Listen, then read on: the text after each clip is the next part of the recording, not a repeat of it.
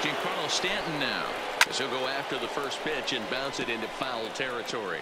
First shot for him here with a runner at first now and one away.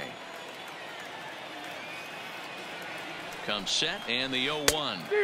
Good curveball there gets the swing and miss. Now you could tell right there that curveball had some serious depth to it. That's what separates the good ones from the bad ones. That nasty spin rate, get that downward action. You even get a star player like this swinging at something in the dirt. And he struck him out. Pretty textbook breaking ball for the punch out right there.